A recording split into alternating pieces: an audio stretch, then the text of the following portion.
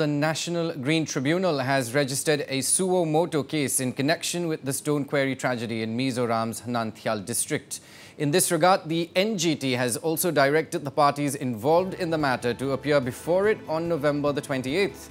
Now, according to the notice given by the NGT on Wednesday, seven officials, including the member secretary of the Mizoram Pollution Control Board and the director of the state's Disaster Management Directorate, have been called to appear at the tribunal's Faridkot House office in New Delhi.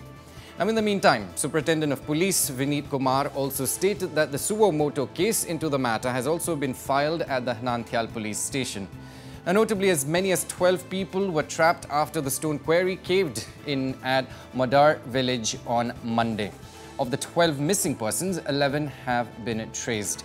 Now, five of the deceased were from West Bengal, two each from Jharkhand and neighboring Assam, and one each from Tripura and Mizoram.